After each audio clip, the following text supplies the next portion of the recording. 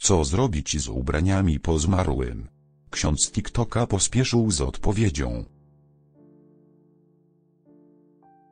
Każdy z nas w inny sposób przeżywa żałobę, ale wiele osób przez długi czas nie potrafi na przykład pozbyć się rzeczy po zmarłym bliskim. Jedna z internautek miała właśnie taki problem, dlatego z prośbą o pomoc zgłosiła się do popularnego na TikToku KS. Sebastiana Picura.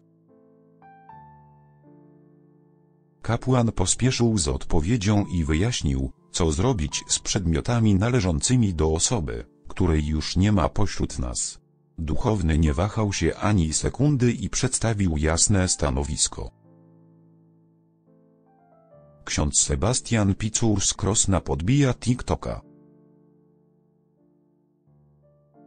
Ksiądz Sebastian Picur jest doskonale znany użytkownikom TikToka.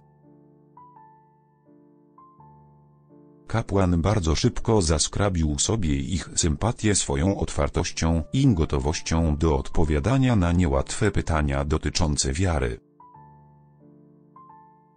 Wszystko to zaowocowało imponującą liczbą ponad 700 tysięcy obserwujących, którzy co rusz zgłaszają się z nowymi kwestiami wymagającymi dogłębnego wyjaśnienia.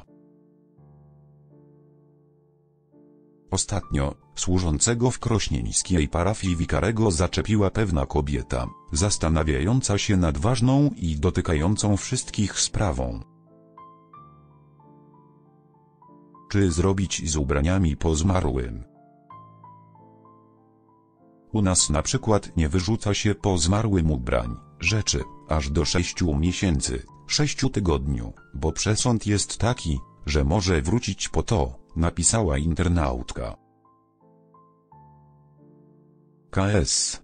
Sebastian Picur nie czekał długo i odniósł się do zabobonu, nagrywając na ten temat specjalny filmik, w którym wszystko klarownie wyjaśnił. Proszę nie wierzyć w takie przesądy. Jeżeli rodzina chce, to może zostawić sobie pamiątki po zmarłym. Jeśli widzi konieczność porządków, to może to bez obaw uczynić, przekazał.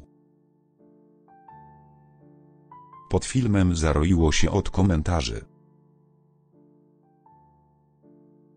Nagranie popularnego duchownego spotkało się z bardzo pozytywnym odbiorem, czego najlepszym dowodem jest fakt, że obejrzano je już ponad 18 tysięcy razy. Internauci bardzo chętnie zamieszczali także swoje własne komentarze i dzielili się swoimi doświadczeniami. Ja mam ubrania po córce i nic się nie dzieje. W trudnych momentach mi pomagają.